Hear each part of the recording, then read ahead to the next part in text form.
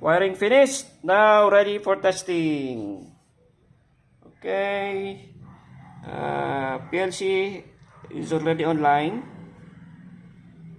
Now control is ready. Let's put it in automatic. Then let's start. Okay, working fine. Indications are there. Power on, run, auto. Okay. Then this is my selector switch. Then let's trip it. We will see if it's going to work. If we trip it, let's test the trip. Okay. Now, standby. Fan kicks in.